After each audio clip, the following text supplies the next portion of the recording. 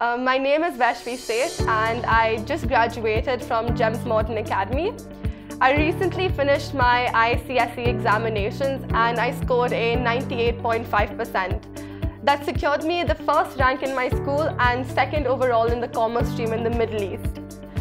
My journey of the Excelencia Institute has been one that's been filled with happiness and ultimately come to a very good end, might I say. I have been part of this institution for two years and as far as accounts is considered, I scored a 99 and I know that one mark where I lost was due to a silly mistake which I'll never forget. But I still, I feel like I wouldn't have done half as well as I did had it not been for the constant support that I received from the entire team over here. Uh, never did they tell me once that you cannot come more than twice a week of your allotted classes.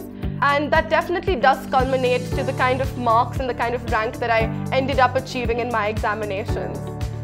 Um, if anyone asks me for advice to give to my juniors, I would say that trust in the process because all of us are giving this examination once and only once. But these teachers that have taught us and are teaching us have done this with multiple students in multiple years. So they know what they're saying and if that means coming on a Friday class on a weekend or coming for an extra long session or the mock examinations that they schedule for us.